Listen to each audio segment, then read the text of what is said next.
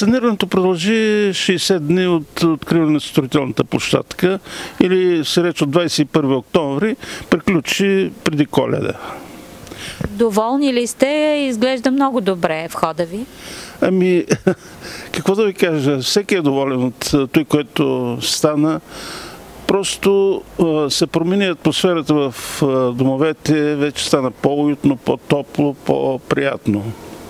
А енергийната ефективност на лице ли е?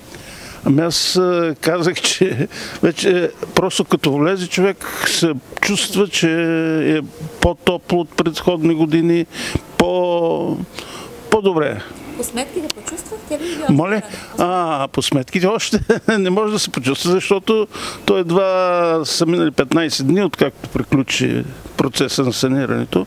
Вероятно ще се почувства и по сметките. Всички ли дадоха съгласие и как направихте организацията? Това е по а, първата програма за енергийно а, саниране.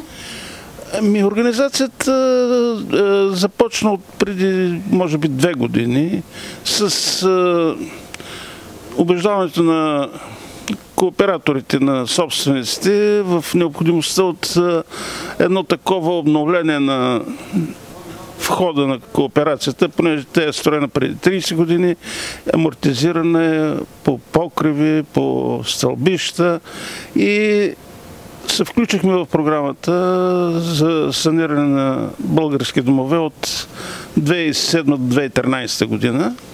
Успяхме да обидиме всички, всички дадоха съгласието си.